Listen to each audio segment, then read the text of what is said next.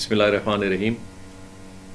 آج اس ملکی صورتحال میں ہم سمجھتے ہیں کہ پاکستانی قوم، خاص کر یہاں پہ بلوچستان کی جتنے بھی لوگ ہیں، بلوچستان حکومت، ہم اس ملکی صورتحال کے حوالے سے پاکستان فوج کے ساتھ، پاکستان قوم کے ساتھ ایک جذبے کے ساتھ کھڑے ہیں۔ یہ وہ وقت ہے جہاں قومیں اپنے چیزوں کا فیصلہ کرتی ہیں ہر لحاظ سے۔ اور ایک بہت بڑا میسیج ہے پاکستانی عوام کی طرف سے، پاکستانی قوم کی طرف سے۔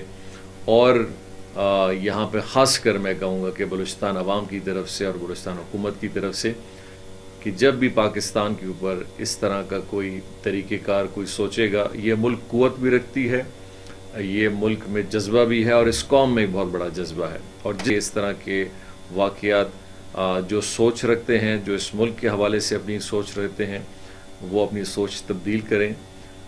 اس ملک میں لوگوں کا ایک بہت بڑا جذبہ ہے۔ اور اس جذبے کا اظہار وہ اپنے آرمی کے لیے، اپنے سارے اداروں کے لیے اور اپنے سارے اس ملک استحکام کے لیے ہر لحاظ پہ شوق کریں گے۔ اور ہر لحاظ سے اپنے سسٹم کے ساتھ کھڑے ہیں۔ اور انشاءاللہ یہ ایک جواب ہے۔ جو ہم ہر لحاظ سے اپنا دینا بھی جانتے ہیں اور اس کی قوت بھی رکھتے ہیں اور اس کا جذبہ بھی رکھتے ہیں۔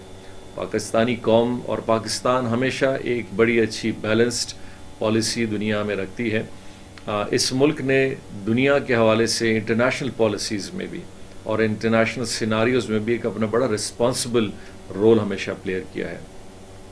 چاہے وہ افغانستان کا افغان وار کے دور کا ہو یا اس کے بعد نائن الیون کے بعد کا دور ہو۔ پاکستان ایک ایسا اسٹیٹ ہے جو اپنی رسپانسبلٹیز بہت اچھی طرح سمجھتی ہے اور اس کو ہمیشہ نبھایا بھی ہے۔ لیکن اس بات کو ہمیشہ سے کمزوری شاید سمجھی جاتی ہے کہ ہم ڈپلومیسی ڈپلومیسی سے اپنی چیزوں کو اپ فرنٹ میں بھی دنیا کے سامنے بھی رکھتے ہیں، لیکن ایٹ دا سیم ٹائم ہم اپنی ڈیفنس کے حوالے سے بھی اور اپنی رائٹس کے حوالے سے بھی اپنا ایک سٹینڈ رکھتے ہیں اور اس کو یوز کرنا بھی جانتے ہیں۔ اسمبلی کا سیشن بھی ہے، جس پہ ایک مشترکہ قرارداد بھی ہے اور ہم اپنی فل سپورٹ اس قوم کے ساتھ، اس قوم کے اداروں کے ساتھ، خاص کر پاکستان فورسز میں، Pakistan army Pakistan air force Pakistan navy ہیں اور سارے سول ملٹری ادارے ہیں۔ اس چیز پہ ایک بڑا فوکسڈ اور ہنڈریڈ پرسینٹ ویژن کلیئر رکھتے ہیں کہ we know how to defend our country Pakistan زندہ باد، پاکستان فوج، پاکستان آرم فورسز زندہ باد. السلام علیکم.